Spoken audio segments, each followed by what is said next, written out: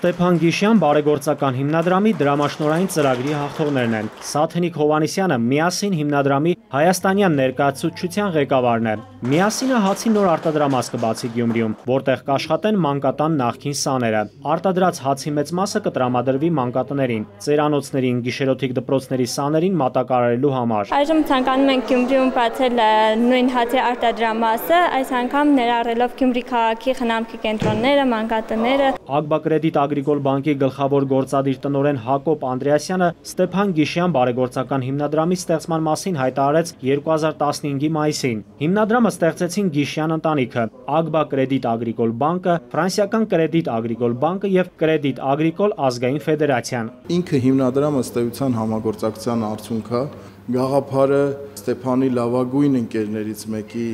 առաջարկներ,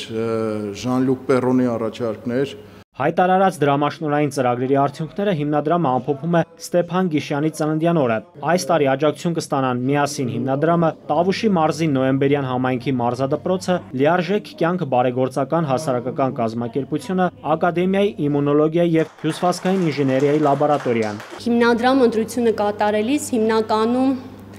հաշվի առել այն հանգամանքը, թե ներկայացված ծրագիրը որքանով է արդյունավետ հասարակության հնարավորինս լայն խմբի համար։ Տարեկան յուրաքանչյուր ծրագրին կհատկացվի մինչև 5 միլիոն դրամ։ Ֆինանսավորման չափը հետագայում կմեծանա։ Նայիրի Մուրադյան, Արմեն Շահոյան, ժամը լրատվական։